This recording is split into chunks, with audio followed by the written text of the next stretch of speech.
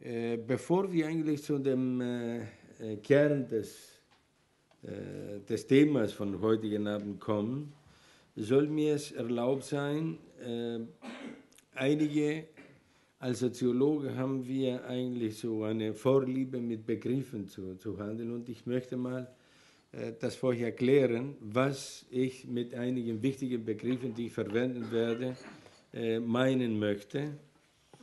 Und äh, nach und nach kommen wir eben zu unserem Thema. Also ganz am Anfang würde ich so einen kurzen Abriss, eine Zusammenfassung äh, über verschiedene Entwicklungen, die ich jetzt nicht nur in Griechenland, sondern europaweit oder weltweit, äh, sagen wir mal, vom Anfang an der 70er Jahre und danach äh, im Gange sind und im Grunde genommen solche Veränderungen weltweit geschaffen haben, die für meine, äh, mein Verständnis den Rahmen stellen, innerhalb dessen äh, diese Probleme oder Probleme, die wir immer hatten, aber an Intensität sozusagen äh, gewinnen. Und äh, unter anderem äh, liegt mir einiges, wie schon äh, Lür gesagt hat, also der Begriff der Krise, Krise, Kritik und konkrete Utopie, wobei sich konkrete Utopie auf die Situation in Griechenland exemplarisch bezieht nämlich auf die gesellschaftliche und soziale Lage, die Auswirkungen der Krise, die politischen Entwicklungen und die Erwartungen, die damit verbunden sind äh, in Griechenland. Äh, also diesen Teil werde ich äh, so thesenartig äh, vorstellen. Äh, vorher komme ich eigentlich zu einer ja, ein Kommentar, dass dieser Beitrag, den ich hier heute leisten will, versteht sich als ein Plädoyer für die Hoffnung und die Realisierung einer konkreten Utopie trotz negativer Erfahrungen aus der Geschichte, dass sie eine Hoffnung bedeutet, anstelle deren meiner Meinung nach es keine andere menschliche Alternative gibt. Das, was noch vor zwei Wochen für manche utopisch, für viele unerwünscht, aber für viele Griechen realisierbar zu sein schien, ist nun Realität. Das erste Mal in der griechischen Geschichte, mit Ausnahme der Partisanenregierung von Neam, Nationale Befreiungsfront in der 40er Jahre, der Zeit der Nazi-Okkupation, haben wir eine linke Regierung in Griechenland. Durch den Widerstand und durch den Ungehorsam des griechischen Volkes ist der Weg gezeigt, zu dem wir zusammen gehen müssen. Wir kommen aber zu diesem Thema zurück.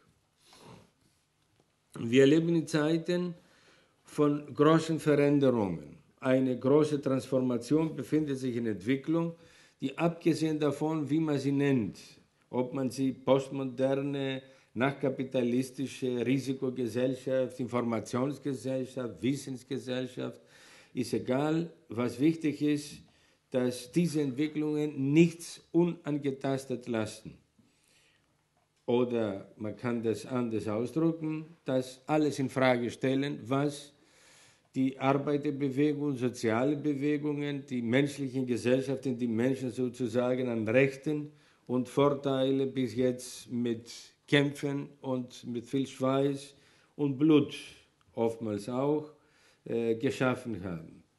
Das, was wir heute erleben, hat seine Wurzel in der Vergangenheit aus zeitökonomischen Gründen natürlich beschränke ich mich darauf und in stichwortartiger Form verschiedene wichtige so Ereignisse von der, vom Anfang der 70er Jahre sozusagen zu erwähnen, um zu zeigen, dass wir uns spätestens seither in eine Phase eingetreten sind, die eine quasi neue Epoche des Kapitalismus gleichkommt. Äh, Studentenbewegung, Protestbewegungen 1968. Äh, 72 ist eine interessante Studie von Konservativen eigentlich, äh, Club of Rome, äh, erschienen, die von den Grenzen des Wachstums sprach und im Grunde genommen äh, das, was wir heute als Problem erleben mit der Umwelt, mit der Knappheit der Ressourcen und natürlich mit Kriegen, die aufgrund diese Ressourcen so entstehen, äh, erleben. Äh, gleich danach eine andere interessante Studie, 1975 auch rausgekommen, die von den sozialen Grenzen des Wachstums sprach, wobei da äh, wichtige sozusagen Annahmen des kapitalistischen Produktionssystems in Frage gestellt wurden, nämlich dass der Wachstum in alle Ewigkeit sozusagen wachsen kann, äh, dass die sogenannte Konsumptionsneigung der Menschen unendlich ins, ins Unendliche sozusagen weiter sich entwickeln kann und andere äh, Grundannahme, die eben dieses System von der sozialen Seite sozusagen die Grenzen gezeigt hat. Bekannt ist vielleicht euch allen hier eine auch interessante Studie, die genau in diesem Geist der Zeit, der 70er Jahre, der äh, Schumacher ein Buch geschrieben hat, Small is Beautiful. Klein ist schön und damit ist eben eine Kritik auch gegen diese Wachstumslogik sozusagen der äh, sogenannten entwickelten äh, Gesellschaften gezeigt.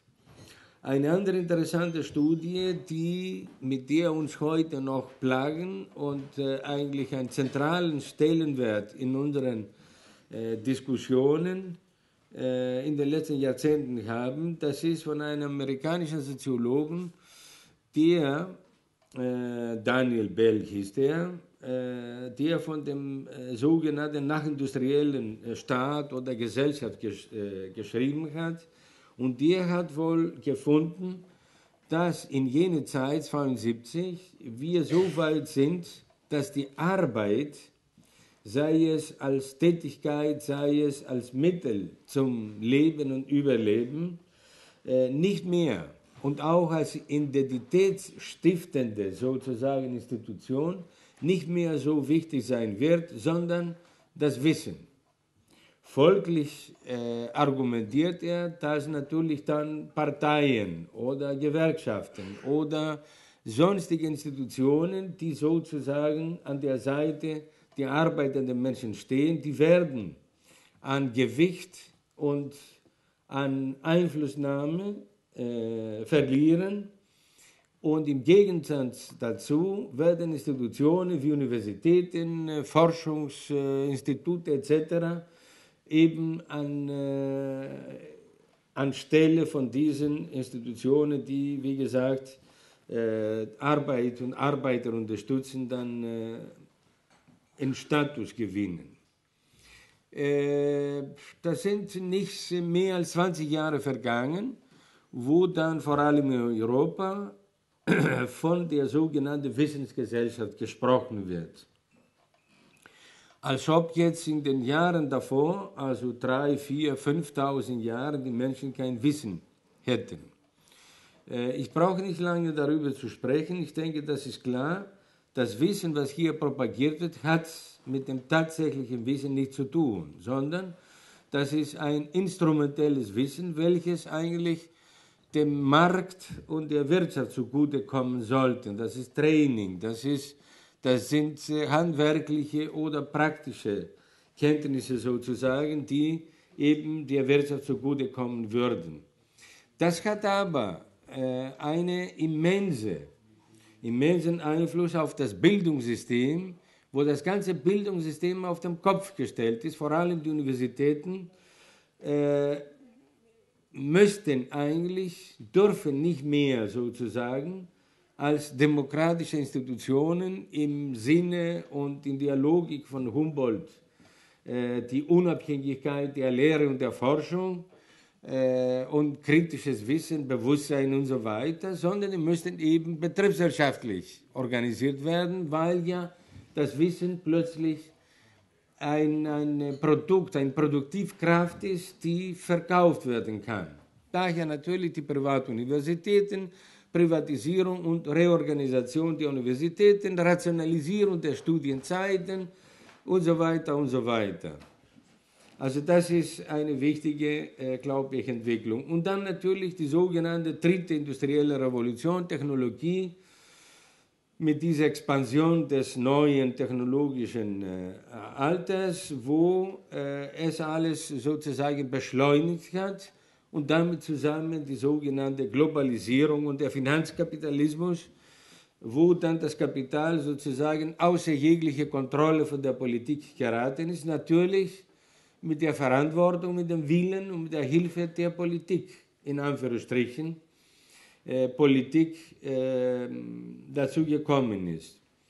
Auf eine intellektuelle, theoretische Ebene, dann müsste natürlich diese ganze Entwicklung auch ideologisch, äh, wissenschaftstheoretisch irgendwo äh, gerahmt werden. Da haben wir die Diskussion der sogenannten Postmoderne. Die postmodernen Theorien behaupten, die großen Erzählungen wie Marxismus oder andere Theorien, die haben keinen Sinn mehr. Äh, wir müssen einfach alles, was in einer Gesellschaft als Meinungen rum erzählt werden, die haben ihre Gültigkeit und äh, die verhalten sich wie auf einem freien Markt, welcher nun die, die, die, die Kraft hat, die anderen sozusagen zu, zu entkräftigen, die soll sich durchsetzen, wie halt in der Natur es mit, äh, mit den Tieren und so weiter passiert. Äh, Neoliberalismus, das ist euch ein geläufiger Begriff, müsste her, um eben den ideologischen Mandel von diesen ganzen Veränderungen zu legitimieren und glaubhaft zu machen. Und euch ist auch bekannt die verrückte Meinung, dass äh, wir ein Ende der Geschichte erleben oder das Ende der Arbeit, der Ideologien, der Klassen. Es gibt keine Klassen mehr und die Geschichte ist zu Ende. Und das bedeutet, dass der Neoliberalismus und der Kapitalismus in seiner neuen Form sozusagen, das war das Ende seit Adam und Eva. Das war, wo die Menschen sich, wovon die Menschen sich geträumt haben. Das haben wir erreicht. Und es geht nur darum, das irgendwo besser halt ein bisschen äh, zu, zu gestalten und äh, passt das. Die Geschichte ist zu Ende sozusagen. Das ist natürlich ein Schwachsinn. Selbst wenn zwei Leute auf dieser Welt äh, übrig bleiben, die werden sowohl Ideologien haben, die werden äh, Geschichte machen, die werden vielleicht sich gegenseitig kämpfen, um ihre Interessen durchzusetzen. Äh, noch zum Schluss zu dieser kleinen äh, Kurzfassung. Natürlich kam dann die praktische Politik, weil ja äh, Theorien und Ideen von allein tragen es nicht. Da müssten natürlich auch politische Kräfte gefunden werden, die das durchgesetzt haben. Fangen wir mal mit dem Putsch in Chile, die Ermordung von Allende da war das erste Beispiel in der Geschichte, wo der Liberal Neoliberalismus mit den sogenannten Chicago Boys, Chicago Boys, das war eine, eine wissenschaftliche Schule in Chicago mit den, mit den berüchtigten Friedman, den Vater, ein der Väter des Neoliberalismus, wo die Gelegenheit hatte, mit der Hilfe natürlich der CIA und das alles wissen die Älteren, äh, Allende musste umgebracht werden und dort das erste Experiment praktisch politisch äh, durchgesetzt wurde. Parallel dazu natürlich, früher oder später kamen dann der Reagan in Amerika, Thatcher in Europa, und wissen wir, wie sie das, äh, diese neue sozusagen Ära des Neoliberalismus durchgesetzt haben, mit dem äh, berühmten Spruch von, von äh, Thatcher, was ja immer wieder in den letzten Jahren, wie in Griechenland, äh, hier in ganz Europa, es gibt keine andere Alternative. Das ist das. Es gibt keine Alternative. Das berühmte TINA. TINA heißt im Englischen There is no alternative. Neulich in Klammer das zu sagen, habe ich von einer Gegenbewegung gehört. Es wurde ein Gegenbegriff geschaffen, das heißt Tata. There are thousand alternatives. ja, das fand ich so schön. Also, äh, was ist jetzt mit diesen allen, allen Sachen passiert? Also auf den Punkt zu bringen, äh, möchte ich euch mal einen Satz von einem Wirtschaftshistoriker, den Karl Polanyi, äh, vorstellen. Der behauptet in einem monumentalen Werk, was 1944 geschrieben hat, die große Transformation, da hat er äh, versucht, die Geschichte des Marktes, wie ist äh, der Markt entstanden und wieso der Markt so eine große Macht äh, gewonnen hat. Heute ist ja fast eine Person der Markt. Der Markt ist unruhig, der Markt kann nicht schlafen, wir müssen mal äh, ruhig sein, nicht ihn zu provozieren, sonst macht er was Böses. Also, naja. Äh, also Carpolani hat 44 festgestellt, äh, und da muss ich Klammer aufmachen. In einer Gesellschaft, wenn wir von Gesellschaft sprechen, ist nichts anderes gemeint als eigentlich gesellschaftliche Verhältnisse, nämlich wirtschaftliche, politische, kulturelle, juristische, sonstige Verhältnisse, die die Menschen eingehen, ja, eingehen müssen, um ihre Bedürfnisse zu befriedigen. Also diese Geflochtenheit von diesen Interessen, wenn es natürlich um eine demokratische Gesellschaft geht, die müssen noch anders aussehen. Zunächst einmal müssen sie in einer Kooperation sein und im Vordergrund von ihren Zielen ist nichts anderes als die sozialen Bedürfnisse der Menschen so zu befriedigen, dass alle Menschen die Möglichkeit haben, sich zu beteiligen an dem, was in einer Gesellschaft passiert, nämlich mit Gerechtigkeit, mit äh, Demokratie, mit Freiheit etc. etc., was eine Demokratie meinen soll. Was nun Polanyi da festgestellt hat, ist, dass die Ökonomie, die Wirtschaft und der Markt sich abgesondert haben, abgekapselt haben von dem gesamten Geflecht der sozialen Beziehungen und sich über sie sozusagen gestellt haben als die letzte Instanz auf der Basis derer alle anderen Beziehungen sozusagen ein Lebensgrund äh, gewinnen oder nicht.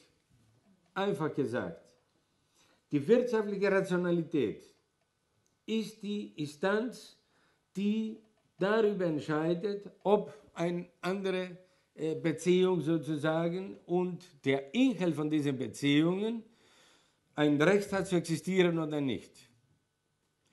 In diesem Sinne, egal was passiert, ob eine im Kulturbereich, im Bildungsbereich, in irgendwelchen Bereich, da muss einfach die betriebswirtschaftliche Rationalität das letzte Wort sagen, damit das weiter existieren kann oder nicht. Das ist natürlich ein sehr wichtiger Punkt und vor allem jetzt, der Spruch ist von 44, jetzt mit dem Finanzkapitalismus und mit dieser Globalisierung, wo das Kapital außer jegliche Kontrolle geraten ist, nicht, dass es früher irgendwo Ideale wäre und die Politik sozusagen das kontrolliert hat. Aber irgendwie gab es einen Rahmen, wo äh, einige Barrieren sozusagen oder Verpflichtungen, aber jetzt gibt es sie überhaupt nicht mehr. Also, gleichzeitig natürlich sind Entwicklungen, die, ja, da müsste man fast ein Semester hier sein und äh, jeden, äh, jede Woche eine einen Vortrag halten und zu diskutieren. Aber das sind sehr wichtige natürlich Entwicklungen, die auch äh, mit uns selber zu tun hat als Individuen oder Gruppen in einer Gesellschaft. Was ist passiert? Diese sogenannte äh, Individualisierungstheorien und Diskussionen. Also nachdem wir eine Zeit äh, erlebt haben, wo der Sozialstaat sozusagen die Aufgabe übernommen hat, Grundbedürfnisse von Menschen, die in einer Krise sich befanden oder als Sicherheit für die äh, nach der Arbeitszeit sozusagen und so weiter war, das ist jetzt total in Frage gestellt worden. Im Namen des Individuums, der individuellen Rechte oder, oder was immer, der Freiheit etc. etc. Dadurch ist natürlich auf der Ebene der Verarbeitung von, den, von dem, was wir erleben als Menschen, Folgendes passiert. Also seit je und immer die Menschen, was sie erleben und was sie verarbeiten, das passiert immer im Kollektiven. Sei es Familie, sei es äh, äh, Klassen, sei es äh, verschiedene soziale Gruppen, Vereine, Parteien und so weiter. Es gibt immer eine kollektive Verarbeitung und dadurch könnten die Menschen eine Richtung finden, sozusagen, um sich zu stellen zu diesen Verhältnissen äh, und ihre Identität natürlich auch als Menschen und Einbettung in diese Gesellschaft zu, äh, zu schaffen. Also das immer mehr in den letzten Jahren ist ein individueller Prozess geworden. Jeder von uns sozusagen abgekapselt von seiner Klasse, von seinen, äh, seinen kollektiven Institutionen, in denen man eingebettet ist, äh, ist auf sich selbst gestellt. Der muss, sie muss alles allein verarbeiten, was natürlich unmöglich ist. Und das sogar unter Bedingungen der sogenannten flexiblen, des flexiblen Kapitalismus, wo von uns verlangt wird, dass wir heute hier sind, morgen dort, heute diesen Job machen, den anderen Tag den anderen und so weiter und so fort. Mit einer Geschwindigkeit und keine Ruhe sozusagen zur Reflexion oder keine Hilfe von, äh, wie ich schon sagte, äh, kollektiven Verarbeitungsprozessen in einer Gesellschaft. Das führt natürlich zu enormen Überforderungen, vor allem äh, bei jungen Leuten. Also, das als allgemeine Entwicklungen. Ich komme mal zu dem Begriff der Krise. Krise als Gefahr und oder als Chance. Die Tradition der Unterdrückten, schrieb Walter Benjamin in den 30, 30er Jahren, belehrt uns dass der Ausnahmezustand, in dem wir leben, die Regel ist. Wir müssen zu einem Begriff der Geschichte kommen, der dem entspricht, dann wird uns als unsere Aufgabe die Herbeiführung des wirklichen Ausnahmezustandes vor Augen stehen. Wie ich das verstehe, was er sagt. Es wird ja immer wieder von Krisen gesprochen. Wir sind in Krise, äh, also die, die, die, die, die Wettbewerbsfähigkeit ist äh, nicht die es sein müsste. Äh, die Preise vom Öl steigen oder gehen runter oder was oder wie. Es gibt verschiedene Krisen, die uns allen natürlich zugeschrieben werden. Und im Namen dieser Krise, die ja äh, alle uns angehen und alle mit sie verschuldet haben, da müssen wir entsprechend uns verhalten, damit die Krise vorbeigeht und es werden ja bessere Tage kommen.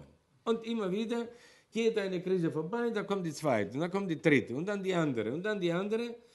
Also, die Frage ist jetzt, wie sollen wir diese Krise verstehen, damit wir, wie Walter Benjamin hier sagt, also, dass diese Krise keine Ausnahme ist, sondern die Regel. Das heißt, wir könnten im Grunde genommen die menschliche Geschichte als eine Folge, aufeinander Folge sozusagen von Krisen verstehen.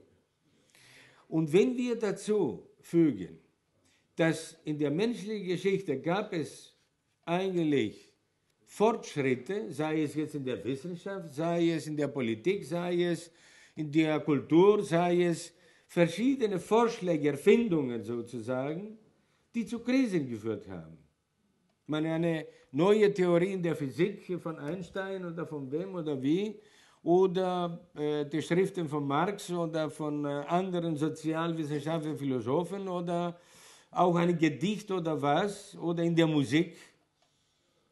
Als das vorgeschlagen wurde, erfunden wurde, das hat eine Krise verurteilt. Also in diesem Sinne soll ja Krise nicht negativ sein. Die Frage ist, welche Krise können wir als Leute, die nicht einverstanden sind von diesen immanenten Krise des kapitalistischen Systems, welche sie ja verwendet, um sich zu revitalisieren, welche Krisen zunächst einmal wir verursachen müssen, da wo es auch keine gibt, erstens und zweitens, wie werden wir diese Krisen, die so verkauft werden, als ob wir alle schuld dran sind, so verstehen, dass wir sie als Chance aufgreifen, um wie Benjamin sagt, den wirklichen Auf Ausnahmezustand herbeizuführen. Ohne jetzt, äh, dass ich missverstanden werde, ich verstehe die Krise in Griechenland als, als solche zum Beispiel. Dass das griechische Volk so reagiert hat, eben anstatt diese Erschüchterung, und ich komme dazu danach, was wir in den fünf Jahren erlebt haben, könnt ihr euch nicht vorstellen. Diese, diese Einschüchterung, diese Angstmacherei, diese Terrorisierung von morgen bis abend und so weiter. Äh, in diesem Sinne verstehe ich, dass das Volk reagiert hat. Hat endlich verstanden, jetzt mit der Wahl, dass dieser Blödsinn einfach künstlich produziert wird, um ihn einfach zu disziplinieren und mit weiterzumachen und sie zu unterstützen und hat reagiert. Und jetzt hat er eine Krise verursacht. Eine Krise für Schäuble, Merkel, für Juncker, keine Ahnung. Die können die Arme jetzt nicht schlafen, die haben ihren Schlaf verloren. Also solche Krisen sozusagen müssen wir produzieren.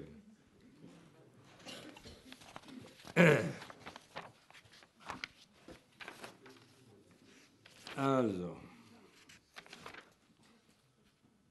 Äh, interessant ist hier, interessant ist hier zu erwähnen, äh, das Wort Krise auf, aus dem Griechischen ist dasselbe exakt wie auch die Fähigkeit, eine Krise zu verstehen.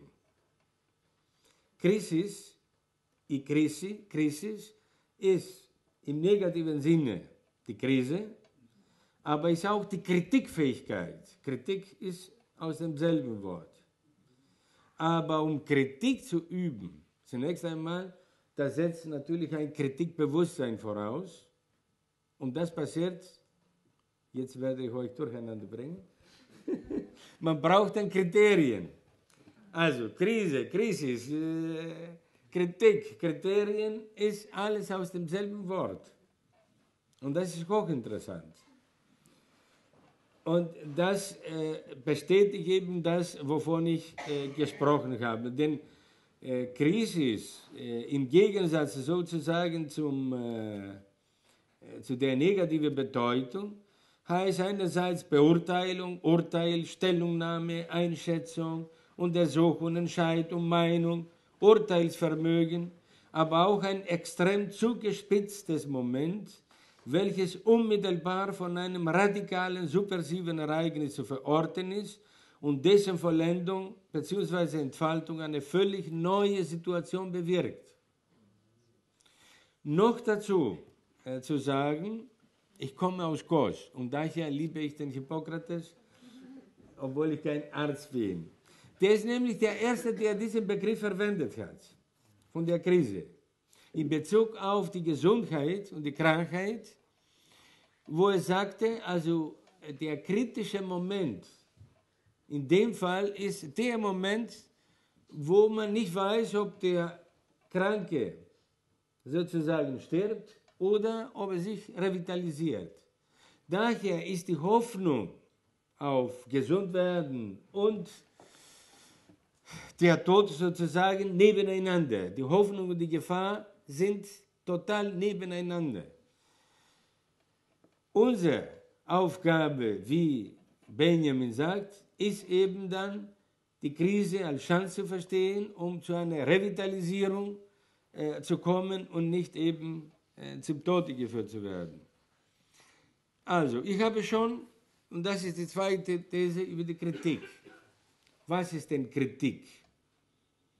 Also die Umwandlung der Krise in eine Chance, das ist ja auch der kritische Moment, der ja nicht leicht ist, weil in unseren Gesellschaften durch diese ganze Propaganda, die Medien, die Sozialisation, die wir erleben, dieser Egoismus, äh, diese Hierarchien, diese Konkurrenz, dieser Antagonismus, der gepflegt wird und so weiter, lässt uns einfach nicht zu diesem kritischen Bewusstsein kommen und auch nicht verstehen, dass in einer Gesellschaft, die sich demokratisch nennt, Kritik ist etwas Substanzielles, ist lebenswichtig. Aber was heißt denn Kritik? Kritik heißt im Grunde genommen, ist ein, ein, eine, ja, um zur Kritik überzugehen, müssen wir natürlich uns verständigen, dass eine Situation uns nicht gefällt, nicht erfüllt das, wofür wir kämpfen in einer Gesellschaft. Und durch Kritik muss das aufgeklärt werden, muss das aufgedeckt werden, müssen wir äh, verstehen, worin die Gründe dieses, äh, diese Pathologie, diese Problematik in unserer Gesellschaft äh, geht. Um ist natürlich gleichzeitig ist keine nur verbale Kritik. Kritik ist auch etwas Praktisches. Wie wir leben, wie wir uns äh, verhalten, wie wir Politik verstehen und wie wir zu verschiedenen Dingen äh, stehen, wie wir unsere Arbeit machen, wie wir unsere Beziehungen aufbauen und so weiter und so weiter. In der Geschichte ist immer Krise und Kritik sind verbunden. Da, wo eine Krise ist, heißt etwas läuft nicht richtig und muss Kritik her.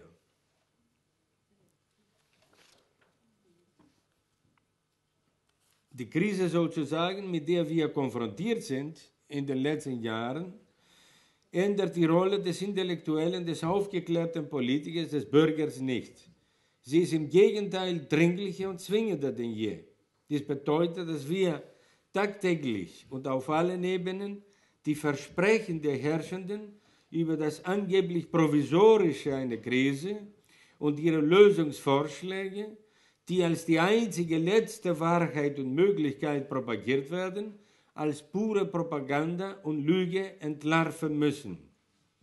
Das Wirtschaftswachstum, selbst wenn das gibt, hat keine positive Auswirkung auf die Beschäftigung, geschweige denn auf die Lebensqualität der gesamten Bevölkerung. Außerdem erlaubt uns kein Fortschritt weltweit zu ignorieren, dass in absoluten Zahlen niemals auf der Erde so viele Männer, Frauen und Kinder sozial und gesellschaftlich ausgegrenzt, arbeitslos sowie von Hunger und Krankheiten bedroht bzw. betroffen waren wie heute. An dieser Stelle ist es sinnvoll, uns daran zu erinnern, dass Politik ursprünglich den gesellschaftlichen Auftrag hatte, dafür zu sorgen, dass alle Bürger in einer Demokratie lebend gleiche Rechte auf ein menschenwürdiges Leben haben, was bedeutet, dass sich alle an Entscheidungen beteiligt, beteiligen können, ohne Ausnahme, um eine Welt zu schaffen, in der das Schöne, das Gute, das Wahre, das Sinnvolle und das Schöpferische herrschen. Ist es eine Utopie? Dritte These. Utopie und konkrete Utopie. Was ist eine Utopie? Utopie aus dem Griechischen über das Lateinische weitergegeben, heißt Utopos. Utopos heißt, es gibt kein Ort, kein Ort. Etwas hat keinen Ort, existiert nicht, ist nicht existent, ist nicht real. Utopie wird im Allgemeinen in der Zukunft verortet und macht innerhalb deren den Topos des Unbekannten aus. Den Topos einer revitalisierten tiefen Hoffnung, aber diese Hoffnung ist als ein noch nicht gewordenes innerhalb des Existierenden möglich. Und dann sind wir bei Blochs, Ernst Blochs Begriff der konkreten Utopie. Und der ist wichtig, weil ich, um das vorwegzunehmen, das, was in Griechenland jetzt passiert, verstehe ich als die Realisierung einer konkreten Utopie. Vor zwei Wochen war das noch äh, nicht zu glauben. Wenn wir unter Utopie jeden Versuch, die Gegebenheiten zu überwinden, jeden Versuch, die vorhandene Realität mit ihren Mängeln in Frage zu stellen, verstehen und wir uns etwas vorstellen, was jenseits dieser Realität zu verorten ist und sie überwindet, dann müssen wir die Utopie positiv beurteilen als den Ausdruck einer stabilen menschlichen Tendenz, sich selbst und seine Grenzen zum Positiven zu überwinden. In diesem Sinne verschiebt das utopische Denken ständig die Grenzen dessen, was möglich oder denkbar zu sein scheint. Das utopische Denken befindet sich in Konfrontation zum Realismus. Das habe ich heute in diesen Tagen an Herrn Tsipras und Varoufakis stellen. Ach, seid doch Jungs realistisch. Bleibt ihr auf dieser Erde und lasst den Schwachsinn. Das utopische Denken befindet sich in Konfrontation zum Realismus insofern, als es davon ausgeht, dass wir die Veränderung, die Verbesserung des Existierenden, Ziele und Kriterien zugrunde gelegt werden, die sich jenseits des Existierenden befinden und ihre Projektion auf die Zukunft ausgerichtet ist. Man kann nicht etwas verändern wollen und dabei das real Existierende, was ja negativ definiert oder als Negatives befindet, das zu Verändernde als Maßstab zugrunde legen. Wenn wir der Meinung sind, das, was existiert, das Falsche ist, können wir doch das nicht als Grundlage. Ab dem Moment, wo wir etwas verändern wollen, wollen wir zu etwas kommen, was nicht existiert. Also ist eine Utopie. Aber dabei ist es wichtig, und das passiert sehr oft, wir reden ja, und wenn ich das auch in Griechenland übrigens ab und zu sage, dass wir keine Demokratie haben, dann fassen sich die Leute an den Kopf. Also, ich meine, wir haben doch eine Demokratie, wir dürfen hier machen, was wir wollen und sprechen und so.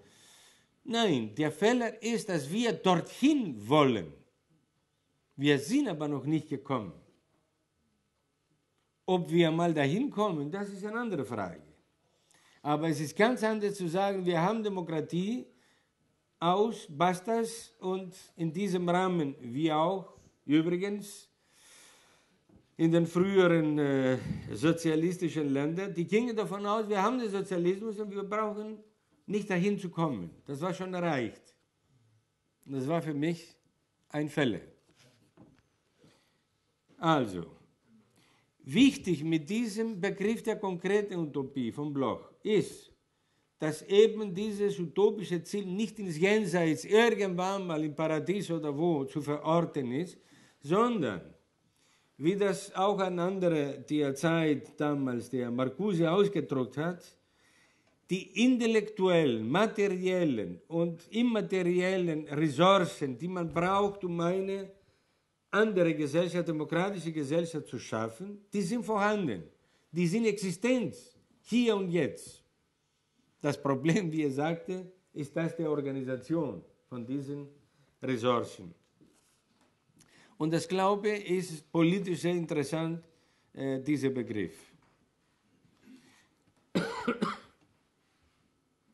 Die konkrete Utopie in der Gestalt des Prinzips Hoffnungs, Hoffnung kann sehr wohl in eine Praxis der Emanzipation münden. Konkrete Utopie braucht Hoffnung und nach Bloch hat Hoffnung gerade an der Todesstelle als eine auf Licht und Leben hin entworfen, als eine, die dem Scheitern nicht das letzte Wort gibt.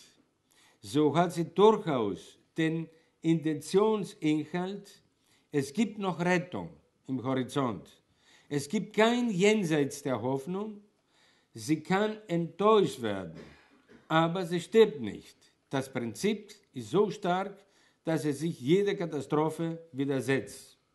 Dum spiro spero, schrieb also der Bloch. So viel zu diesem theoretischen und allgemeinen. Ich brauche eigentlich nur ganz kurz äh, mal zu, zu, zu, zu, zu erzählen, was wir in diesen fünf Jahren in Griechenland erlebt haben. Und ganz äh, stichwortartig.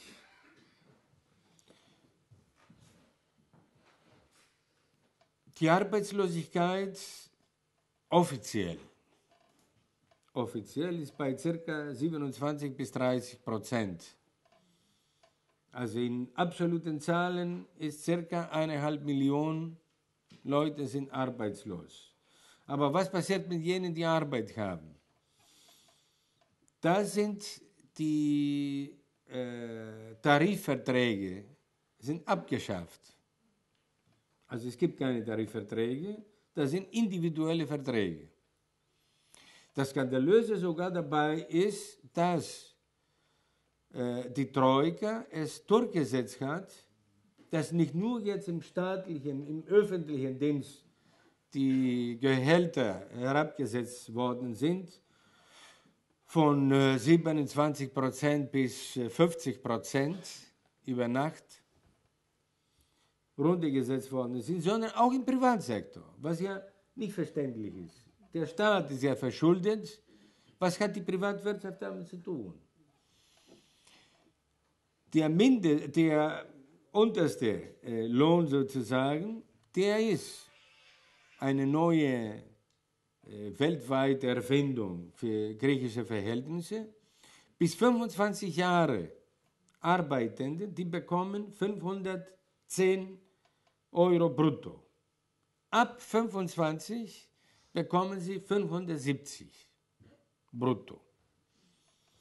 In den meisten Fällen, viele Firmen, die beruhen sich auf die Krise, berufen, ja, Krise hin, Krise her, und monatelang bezahlen sie die Arbeitenden gar nicht. Im Tourismus zum Beispiel ist gang und gäbe, wo jetzt wir sprechen und die Saison ist schon seit äh, Oktober aus, die sind noch nicht bezahlt worden. Also der Arbeitsmarkt ist dermaßen äh, demoliert, dass niemand durchblickt, was da passiert äh, in der Hinsicht. Gleichzeitig sind natürlich Tausende von kleinen Betrieben, mittleren Betrieben haben zugemacht. Ihr müsst natürlich nebenbei wissen, dass in Griechenland mehr als 95 Prozent der, der Betriebe Klein- und mittlere Betriebe sind. Ein Mann, Frau, Familienbetrieb, äh, was gerade die Familie oder die Menschen, die arbeiten, so äh, ernähren konnten. Und das ist natürlich eine Katastrophe, wenn mehr als ein Drittel von diesen Firmen hat zugemacht, dicht gemacht. Und alle diese Leute haben natürlich keine Versicherung, haben keine gesundheitliche Verpflegung, keine Medikamente, nichts, nichts und so weiter. Nach einem Jahr äh, sowieso, weil sie nicht als arbeitende Arbeitnehmer waren, da haben sie keine Versicherung aus. Wenn sie keine Versicherung bezahlen, dann haben sie keine äh, Unterstützung mehr.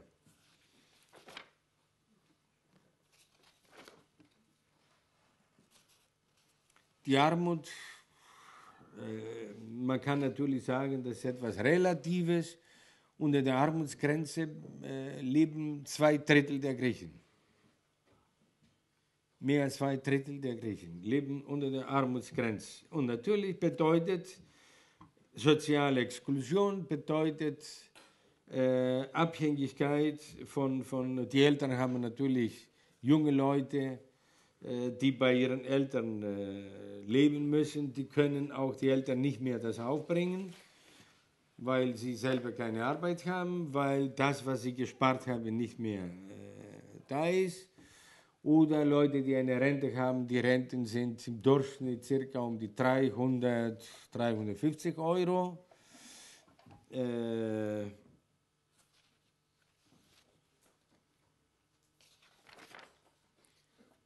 die Selbstmorde. Griechenland, muss ich sagen, war eigentlich fast an der letzten Stelle weltweit oder an den letzten Stellen von der ganzen Welt. Und in den letzten Jahren sind mehr als 6000 Leute haben sich das Leben umgebracht. Haben, sind, ja. Äh, das sind quer durch. Das sind Unternehmen, das sind junge Leute, das sind Frauen, das sind Männer, das sind psychische Probleme natürlich total gestiegen, Psychopharmaka. Äh, die Krankenhäuser sind demoliert, weil die kein Personal mehr haben, keine Mittel mehr haben. Also es gibt Fälle, wo man das nicht glauben kann, dass die Leute nicht einmal so die, die, die einfachsten Mittel haben, um äh, Leute zu behandeln. Äh, die Medikamente sind teurer geworden, also der Beitrag der äh, versicherten Leute ist von, äh, keine Ahnung, war das 5%, 10%, jetzt ist auf 35 oder so äh, gestiegen. Wenn du in ein Krankenhaus mal gehst und ein Rezept willst, dann musst du schon Eintritt oder ein, eine Pauschale 10 Euro oder so. Wenn du zu einem Privatarzt gehst, weil ja Pflicht ist, du kannst keine Medikamente kaufen ohne Rezept. Also im Grunde genommen bezahlst du mehr, als wenn du selber das Medikament kaufen würdest. Wenn du 20 Euro dem Arzt bezahlen musst, wenn du 35 Prozent auf die Medikamente bezahlst, dann äh, ja. Äh, die ganzen Einrichtungen, die jetzt äh, in dieser Krise Leute beraten müssten, äh, die sind einfach ohne Personal geblieben. Charakteristisch ein Film, der von Sozialarbeitern gedreht wurde wo eine Sozialarbeiterin Patras beim Arbeitsamt erzählt, dass sie vor der Krise, da waren acht Leute in dieser Abteilung, wo sie die Arbeitslose also Ratschläge gegeben haben. Und jetzt während der Krise ist eine geblieben und die muss jeden Tag mindestens von 250 bis 350 Leute empfangen und sie beraten. Beraten, 300 Leute. Äh,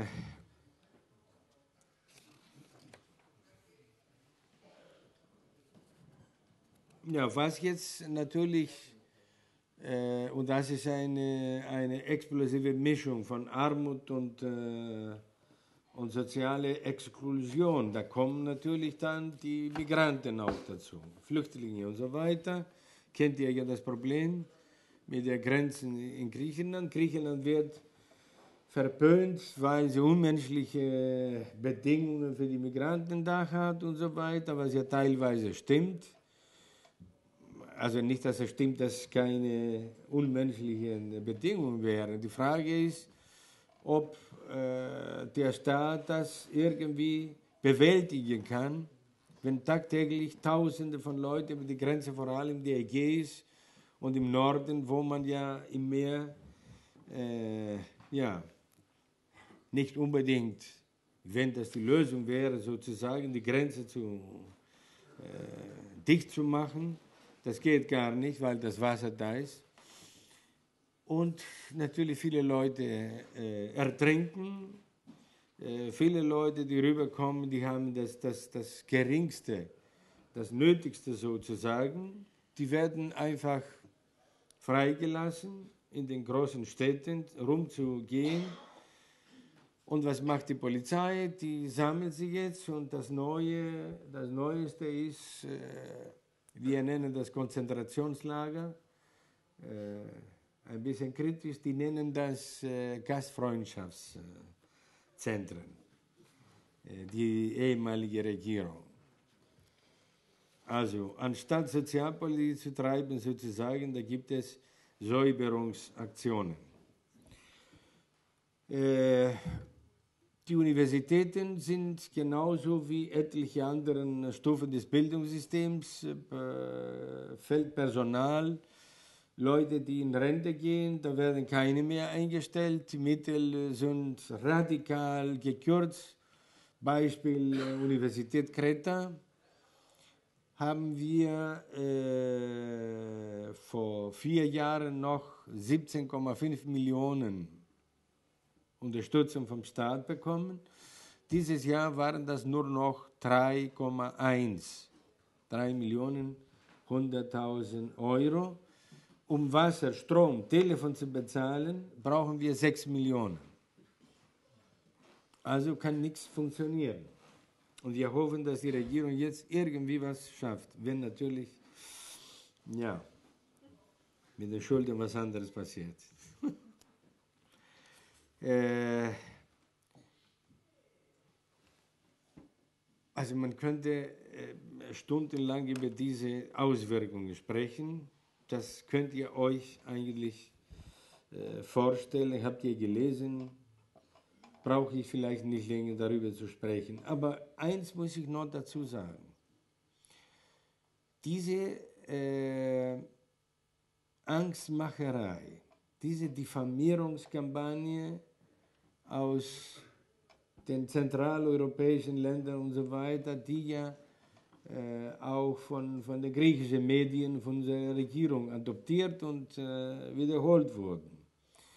Äh, die hat uns dermaßen, äh, wie soll man sagen, ohne jede Würde sozusagen, ein ganzes Volk wurde diffamiert, entwürdigt, äh, beschimpft, faul, so, hin, her und so weiter. Also eins, äh, das, das können die, die meisten nicht verstehen, was das bedeutet, fünf Jahre lang diese, diese Erniedrigung zu erleben. Und das habe ich ja auch in Deutschland erlebt und auch von äh, Griechen, die in Deutschland woanders gelebt haben, die sich langsam geschämt haben, äh, dass sie Griechen waren sozusagen. Also Grieche, das Synonym des, des, des Sündenbocks, so ungefähr. Ja, aber gleichzeitig, gleichzeitig gab es Entwicklungen all diesen Jahren, die natürlich nicht so ganz hier rübergekommen sind. Und das ist großartig, was passiert ist. Eine immense, enorme Bewegung an Solidarität. Was ja in Griechenland äh, vorher nicht gab. Die Griechen interessanterweise obwohl natürlich keine hochindustrialisierte Gesellschaft äh, jemals gewesen ist, war sehr individualistisch. Aus welchem Grund immer, das müsste man äh, länger analysieren. Und durch die Krise ist wirklich das erste Mal so eine enorme Solidarität, Initiativen, wo natürlich meistens und am Anfang um das Überleben ging. Also Leute, die kaum mehr hatten als der Nachbar, aber die haben sich zusammengeschlossen. Es haben sich, äh, ich war 2006 in Berlin eingeladen auf einen Weltkongress, um über Sozialökonomie zu sprechen, Solidarökonomie. Und ich sollte mal Beispiele aus Griechenland mitbringen und ich habe keine gefunden. Außer irgendwelchen Dörfern, wo äh, Hausfrauen paar Marmeladen machten oder Kuchen oder irgendwas so. Und was jetzt in den letzten Jahren in Griechenland passiert, das ist enorm. Es gibt die sogenannten sozialen Praxen. Ärzte, die nachmittags oder in ihrer freien Zeit am Wochenende sich zur Verfügung stellen sozusagen und Medikamente sammeln und äh, Leute, das war allerdings schon vor der Krise, allerdings nur für Migranten. Aber jetzt in den Jahren der Krise, äh, die, die, die haben sich dann auch mit den Griechen sozusagen befasst. Oder sogenannte soziale Apotheken, soziale Supermärkte, sozial, sozial, sozial, alles Mögliche. Oder Nachhilfeunterricht für arme Familien, wo die Kinder keine Unterstützung in der Schule haben. Oder äh, dann auch Projekte, die was produziert haben. Also Alternativwirtschaftsprojekte oder Kulturprojekte oder Bildungsprojekte. Austauschringe oder, oder, oder. Also eine Fülle von, von äh, Initiativen und das ist für mich eine Hoffnung, das war, äh, also das, was wir Zivilgesellschaft nennen und in Bürgerinitiative, das war so gut wie unbekannt in Griechenland. Und das ist jetzt durch die Krise entstanden. Und natürlich das alles hat sich dann auch auf der politischen Ebene zum Ausdruck gebracht, weil ja Syriza selber, um zu Syriza zu kommen, war nichts anderes als ein Sammelsurium von kleinen Gruppen, Bewegungen und so weiter. Selbst äh, Syriza war eine Protestpartei, sagen wir mal so. Und äh, das ist, was ich schon vorhin sagte, also wo bewusst oder unbewusst, ob sie nun äh, Bloch kennen die Leute oder nicht kennen, äh, ist eben diese ganze politische, soziale, Alternativbewegungen haben sich eben äh, zu dem zusammengetan, was äh, hier heute diese Veränderung, politische Veränderung in Griechenland haben. Und es ist interessant, dass äh, letztes Jahr war ich ein ganzes Semester in Kassel. Und da habe ich äh, vier Seminare gemacht und außerdem habe ich zwölf Vorträge außerhalb der Uni äh, gemacht. Was ich dann äh, ab und zu, äh, allerdings mit Vorsicht versucht habe zu formulieren, sagte ich, dass ich in Griechenland der Meinung bin, in der Zeit befinden sich zwei Experimente in Entwicklung. Das eine ist das des Finanzkapitals und des Neoliberalismus, wo sie da ausprobieren, äh, um die Grenzen sozusagen zu finden, wie weit sie gehen können, die Abschaffung von Sozialrechten von allen und so weiter und sehen, wie weit sie gehen können, bis die Bevölkerung reagiert. Und gleichzeitig äh, war ich ein bisschen vorsichtig, nicht, dass ich jetzt meine, man, die Griechen bilden sich jetzt ein, dass sie die Welt revolutionieren. Äh, hatte ich gesagt, das ist ein zweites Experiment von dem, was ich jetzt gesprochen habe, in Griechenland passiert, wo nämlich im Keim diese Gesellschaft einen, einen Prozess durchläuft, der damals war ein Wunsch mehr, aber jetzt hat sich realisiert, dass es zu einer politischen Veränderung kommt, um den Rest Europas zu sagen, wir wollen nicht mehr, bastas, aus, wir wollen das nicht mehr und machen einen Strich durch die Rechnung. Ich weiß natürlich, dass was etwas Heroisches in Anführungsstrichen hat und die Griechen neigen dazu, sich auf irgendwelche äh, Aufopferungen in der Geschichte zu beziehen. Teilweise ist gut, teilweise vielleicht nicht. Aber die meinen, uns ist egal. Die sollen mal machen, was sie wollen. Wir wollen nicht mehr. Wir wollen nicht mehr, vor allem auf Kreta, beziehen sich auf Arkadi. Arkadi ist ein historischer Punkt, wo die Kretaner da die Türken sie irgendwo umgeriegelt haben und die haben sich dann in die Luft gesprengt. Circa 2000 Leute in ein Kloster außerhalb von Rethymnon haben sich in die Luft gesprengt. Und die meinen, uns ist egal. Schlimmer kann das nicht sein. Also, die Frage ist natürlich, und da äh, sollen wir jetzt sehen, wie der Syriza weitergeht ob wir in Ruhe gelassen werden oder nicht.